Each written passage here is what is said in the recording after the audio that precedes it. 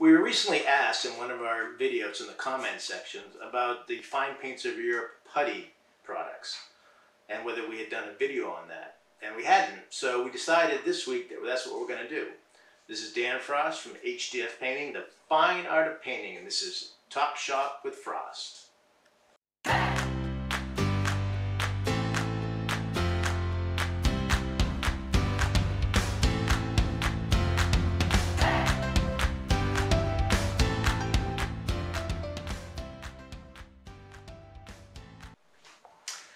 Okay, so what is putty?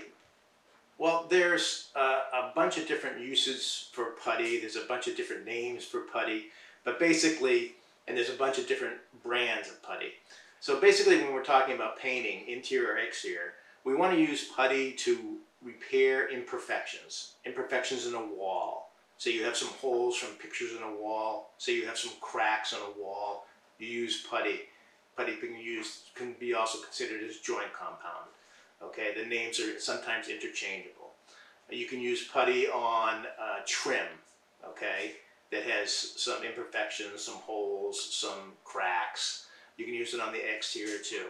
Um, but we're talking about a whole nother different putty product by Fine Paints of Europe. And this product is used in preparation on surfaces that have to be really, really smooth okay, so that it'll take the high gloss finishes that Fine Paints of Europe has, and so that you get that really high, high sheen. The surface has to be perfect. And those are the putties we're going to talk about. So in this video, we're going to focus on the two different um, putties that Fine Paints of Europe offers, okay? In our other video of the how to use Fine Paints of Europe Hollandlac, we briefly talked about the Swedish putty. That's one putty.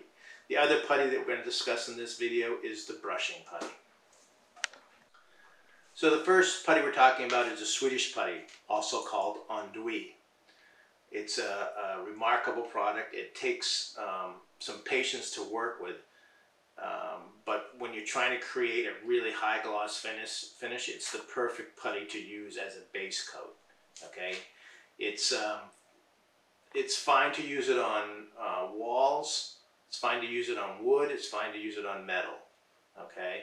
Um, it's made up of titanium silicates uh, mixed in with some linseed oil and varnish.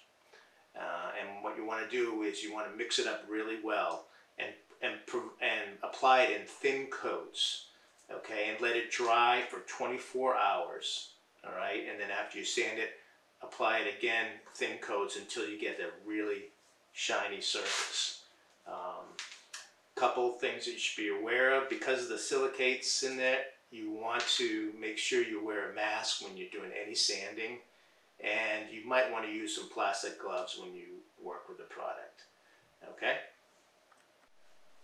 The next fine paints of Europe putty is the brushing putty.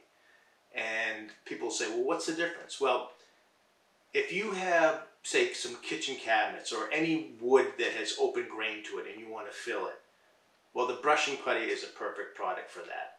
Now the difference, one of the main differences with the um, Swedish putty, you don't have to prime it.